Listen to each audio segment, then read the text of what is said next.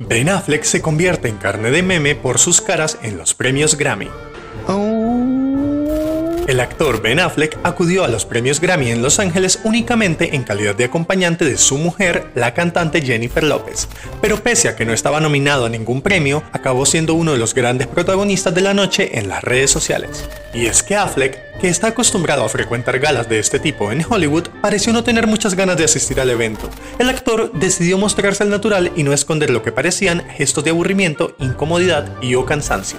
Y claro, esto no pasó desapercibido para el público que mientras las cámaras enfocaban a Jennifer López, sentada entre los asistentes más VIP de la ceremonia, disfrutando con las actuaciones de Harry Styles, Bad Bunny y los demás artistas de la noche, pudieron ver cómo Affleck estaba a su lado con una expresión corporal que iba cambiando desde la rigidez hasta el más puro aburrimiento. Vamos, que sus caras eran pura carne de meme y los usuarios de las redes lo vieron claro.